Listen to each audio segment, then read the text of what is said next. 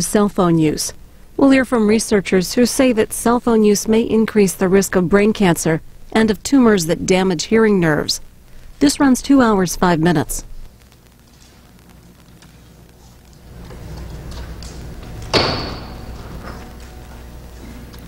Committee will come to order. Uh, before we begin, I just uh, want to thank all of you for being here, but share with you that we're at a uh, time in our nation's history where there are events that have developed of great import with respect to the economy.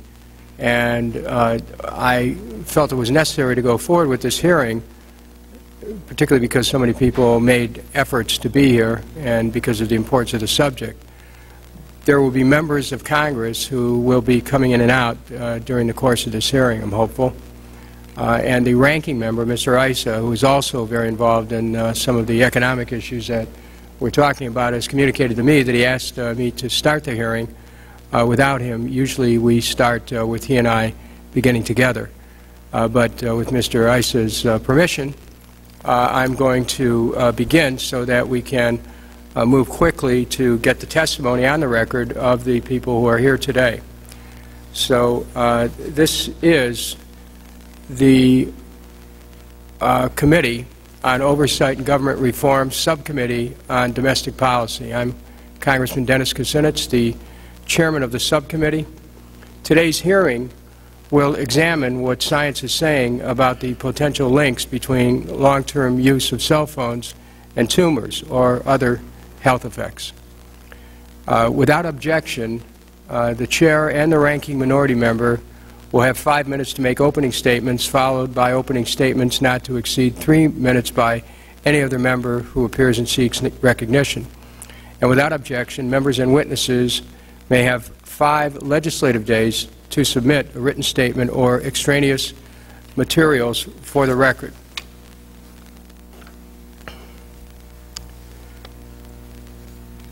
Cell phones have evolved from a clunky novelty to a sleek utility. They have become indispensable and, for many, inseparable from modern life. They're everywhere, in America, Europe, and some parts of Asia. While consumer demand for cell phones has grown, and as the technology has evolved to give consumers more option uh, and faster connectivity, a vigorous debate has been taking place among scientists about whether long-term use of cell phones causes tumors in the people who use them. Recently, that debate caught the public's attention with the publication in July of a warning from a preeminent oncologist about the human health effects of cell phone use. We are fortunate to have the author of that memorandum, as well as a distinguished group of individuals as witnesses before this committee today. I regret that the CTIA, the Association of the Wireless Telecommunications Industry, declined our invitation to testify. Uh, by their refusal, unfortunately, uh, they deny this Congress and the public the benefit of their testimony and the opportunity to pose questions and to hear answers. I hope that the wireless industry will reconsider their decision. Uh, should the uh, subcommittee determine it would be beneficial to hold further hearings on this matter. However, I'm grateful to the minority of the subcommittee for identifying another highly qualified expert from the National Cancer Institute. I'm confident that he will add immeasurably to the hearing. I'm proud to say that this subcommittee's partnership and spirit of cooperation with the minority is the rule rather than the exception. And I want to thank them, uh, thank Mr. Issa, for engaging in this hearing. In exploring this topic, it is my belief that the complicated scientific questions should be left to scientists. I challenge our witnesses today to answer the questions posed by members of the subcommittee clearly, and to challenge each other as well. In typical public debates over potential links between an environmental exposure and a health problem, Convention is that the message must be black and white. On one side, the charge is made, explicit or implicit, that there is no scientific doubt about a certain health effect from the exposure of concern. On the other side, the relevant industry defends its product with the scientific assertion that there is no evidence that exposure to X causes health effect Y. Often, the reality and the science lies somewhere in between. My hope is that we can improve the public's and, the, and Congress's understanding about the gray area in this scientific debate. Today, we will let experts present the evidence, discuss the studies, describe the limitations of what is known and what can be implied from the data that we have. The question before us, then, is whether the evidence is sufficient to merit action by regulators and legislators to protect public health. What have other national government health authorities done to protect their people based on the same scientific data? What should Congress or the administration do, if anything, uh, here in the United States? At this point, I uh, want to recognize and, and welcome uh, the distinguished ranking member of our subcommittee, Congressman Darrell Issa of California. Mr. Issa and I have uh, worked together uh, as partners uh, in this subcommittee uh, where we have our differences. Uh, we, we differ in, in a manner that is collegial, but where we agree we have opportunities to really um, make some profound differences. And I want to thank Mr. Issa for um, for his presentation and for his presence here. Thank you. Thank you, Mr. Thank you, Mr. Chairman. And uh, as you said quite rightly, uh, we come from different parties and we have reached different conclusions on where government should go. But when it comes to the conclusion that science has to drive the decision process, we, we have no differences. This is an important uh, hearing today. It's important for a number of reasons. First of all, I understand it has been 15 years since the last time a hearing like this was held. Uh, secondly, as somebody who spent his career both in the military and then more extensively for 20 years in business producing radio frequency products, I'm acutely aware that in fact there is a link at some point along the spectrum to cancer. Now I say that not to say that today that we will hear any conclusive evidence as to cell phones. We don't have that. And I think, quite frankly, we deserve to get it. But we do know that, for example, X-rays being used to measure shoes extensively decades ago led to a higher incidence of cancer. And in fact, today we know to limit, the va although valuable, we know to limit X-rays to that which is essential. And all our medical per personnel here would say the same thing, that uh, we don't unreasonably expose ourselves to X-rays even though we avail ourselves of the benefits. UV rays. There are many people in the, in the stands today who have suntans. If they're like me, they're natural. If, in fact, they were, they were gleaned from the sun, then you know that you do it at a significant peril that has been well documented. These rays are no different than any other rays, any other bandwidth. Uh, there is a potential for damage at some level. And in many cases, as I say, we've studied it. We know a little bit about X-rays. We know about uh, ultraviolet. It's very clear that we need to know more about the rest of the spectrum at 40 hertz, 60 hertz, at 400 megahertz, at 800 megahertz, and well into the gigahertz bands. The National Cancer Institute and the World Health Organization and the American Cancer Society claim that no link has been demonstrated to date. There may be no link, but it is also very clear that if there is a link at some level in almost, at almost any radiation, that we do need to know what is safe and unsafe. As I said, I spent more than two decades in the business of producing radio frequency products our company meticulously adhered to the FCC standards. Those standards were primarily designed to prevent a product from interfering with other products within the spectrum. That is a good standard and appropriate. We need to find similar good standards for exposure to any bandwidth of any device. And I say, I say this not to say for a moment that I know that there's a link specifically anywhere close to the amount of radiation that's going out today. But I would say that the wireless industry has played no small role in the advancement and benefit to the American people. In the last 30 years, the wireless industry has changed our lives for the better in so many ways.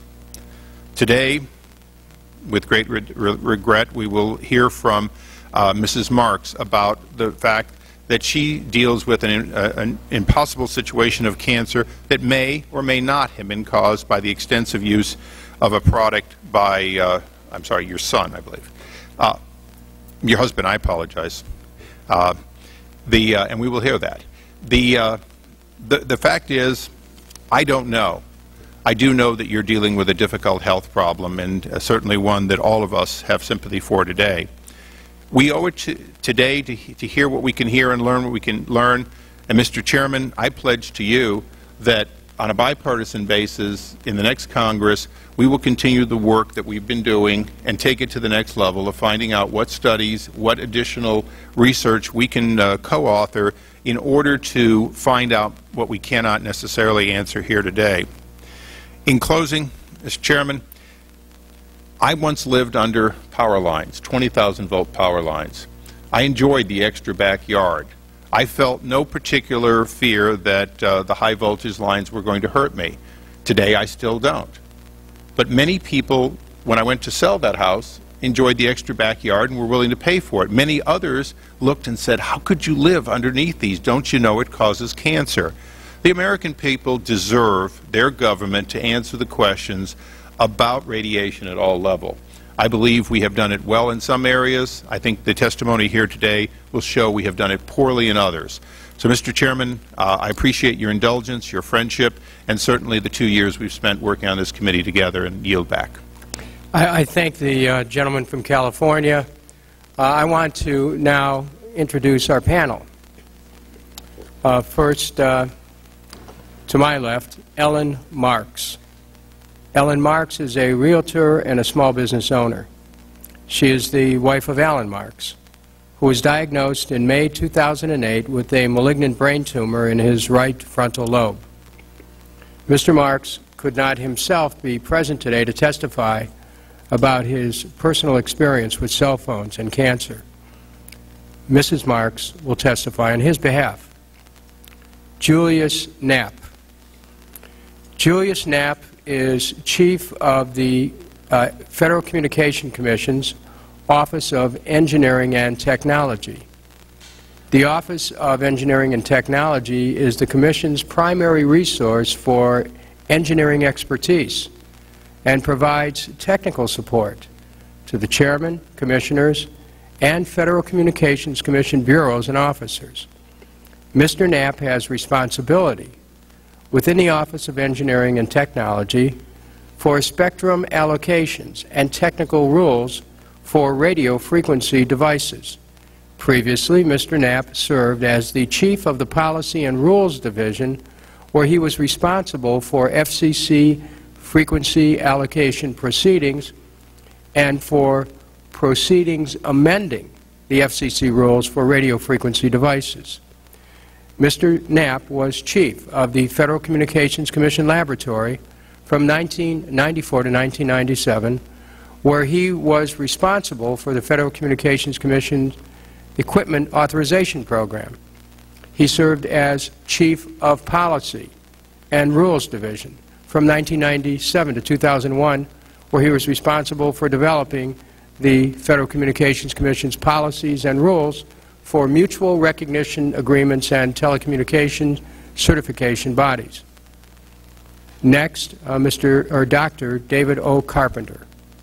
Dr. Carpenter is the director of the Institute for Health and Environment at the University at Albany, as well as professor in the Department of Environmental Health Sciences. A public health physician, Dr. Carpenter previously served as the director of the Wadsworth Center for Laboratories and Research of the New York State Department of Health, and later as Dean of the School of Public Health at the University of Albany. He has over 300 peer-reviewed publications in neuroscience, toxicology, and environmental health. He has served as the co-editor of the Bio Initiative Report a multi-author report on animal and human effects of exposure to power line frequency and radio frequency, uh, EMFs. And Dr. Carpenter uh, earned his MS at Harvard Medical School. Next, Dr. Ronald Herberman. Dr. Herberman is the founding director of the University of Pittsburgh Cancer Institute, a national Cancer Institute-designed comprehensive cancer center specializing in innovative approaches to cancer diagnosis and treatment. Along with directing UPCI, he was director of the University of Pittsburgh Medical Center uh, Cancer Centers. He also serves as chief for the Division of Hematology Oncology at the University of Pittsburgh Medical Center, as well as associate vice chancellor for cancer research at the University of Pittsburgh. Previously, Dr. Herberman was an official at the National Cancer Institute, including senior investigator in the immunology branch, section head in the Laboratory of Cell Biology, and chief of the new Laboratory of Immuno Immunodiagnosis. Dr. Herberman received his MD from New York University School of Medicine. He has served as president of the American Association of Cancer Institutes and serves on the editorial boards of numerous scientific journals. And finally, Dr. Robert Hoover. Dr. Hoover is Director of Epidemiology and Biostatistics Program of the Division of Cancer Epidemiology Genetics at the National Cancer Institute. Dr. Hoover earned his MD from Loyola University in Chicago and his MS and uh, SCD in epidemiology from Harvard uh, School of Public Health. Dr. Hoover serves on the editorial boards of three journals and serves on many national and international committees concerned with various aspects, uh, aspects of epidemiology and preventive medicine. He has been awarded the Public Health Service Commendation Medal in 1976, the Meritorious Service Medal in 1984, and the Distinguished Service Medal in 1990. I want to thank our distinguished panelists for appearing before this subcommittee today. It is the policy of the Oversight and Government Reform Committee to swear in all witnesses before they testify. I would ask that uh, you would all rise and raise your right hand.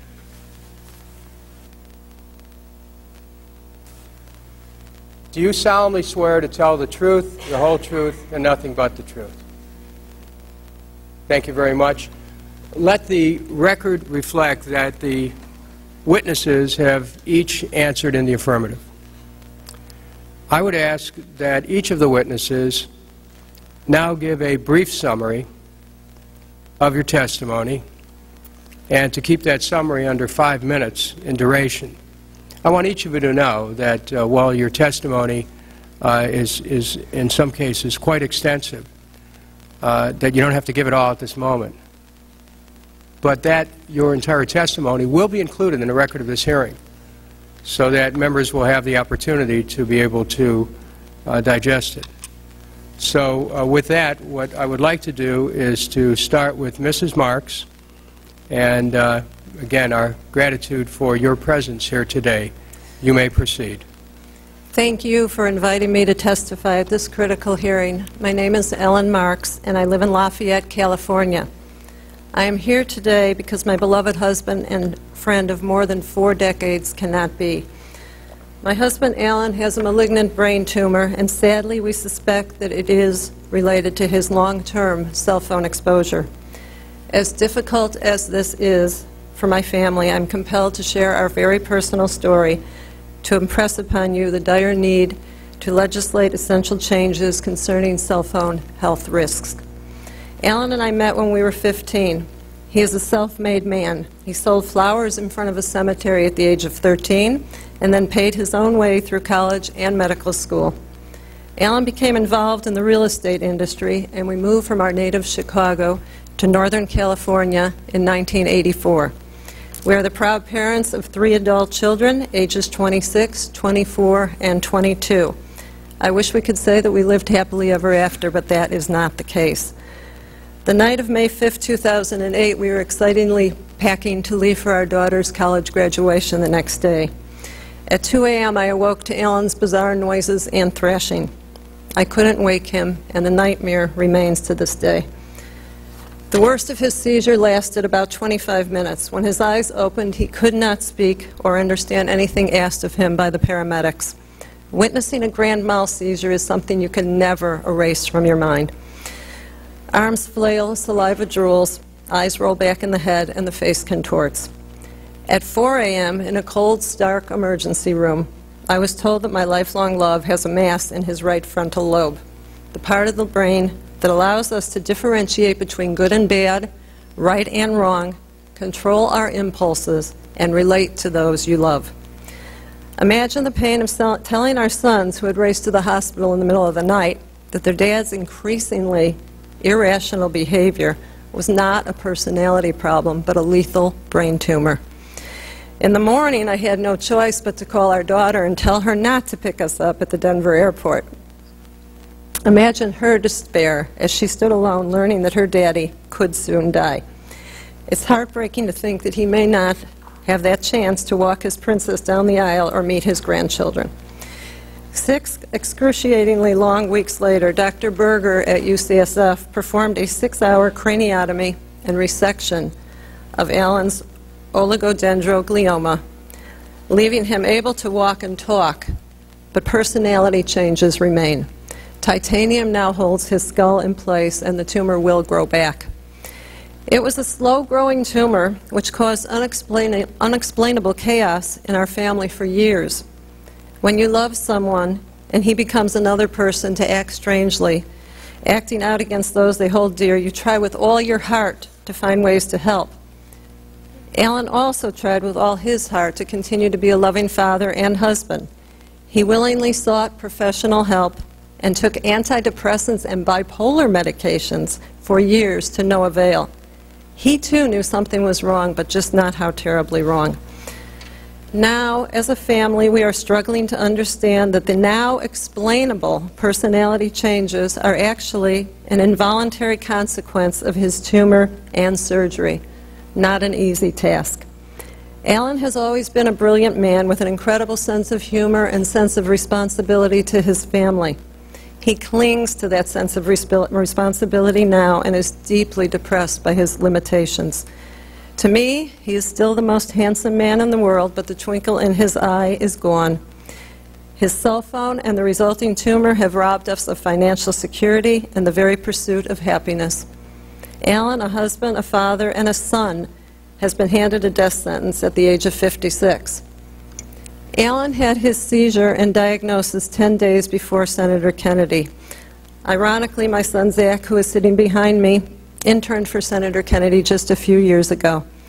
Upon hearing a report that the senator's glioma may also be linked to cell phone use, our research began.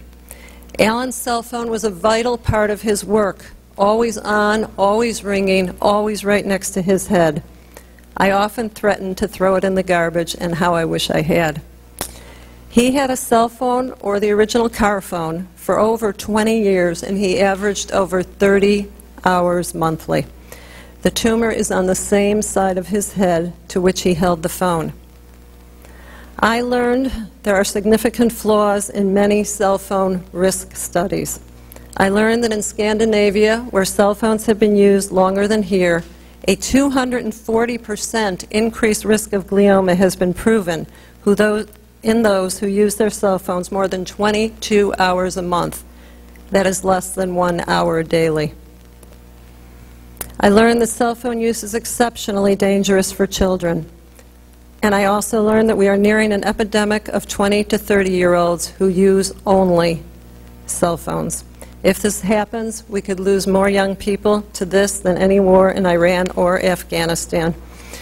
I am grateful that Dr. Herberman, a distinguished cancer scientist, has made such a courageous decision. How can we wait if, we, if waiting means sick or dead people when we have strong evidence or any evidence at all that there is a risk? What happened to my husband could happen to you or worse, to your children or grandchildren. I am sick and tired of hearing there is not enough conclusive evidence. My husband is conclusive evidence. I am angry as this horror could have been avoided with a simple warning. I pray that my husband's legacy will be that we help divulge the truth and that you, the leaders of our great nation, took action. Governments in other countries have taken steps to protect their citizens from this travesty. I trust you will not fail us. I beg of you not to let te- technological advances invented to enrich our lives rob us of our lives instead. Please demand independent studies instead of self-serving studies funded by the cell phone industry. Please demand more rigorous safety standards. Please demand that warnings about cell phone usage and the radiation they emit be stated on every cell phone. By doing so, you will protect our most valued resource of all, human life. I love my husband with all my heart and hate what has happened to him as a result of this cancer. Please help save others from facing the deadly diagnosis and lifestyle which our family must endure. If not now, when? And if not for me, for the millions of potential victims. I thank you very much. Thank you very much, um, Mrs. Marks, for your testimony. Before I go to our next witness, I want to note that uh, we have uh, two more members of Congress who have joined us, uh, Congresswoman Diane Watson from California and Congressman uh, Higgins from New York. So I want to thank uh, the members for being here, and we certainly look forward to your participation in the uh, question and answer period.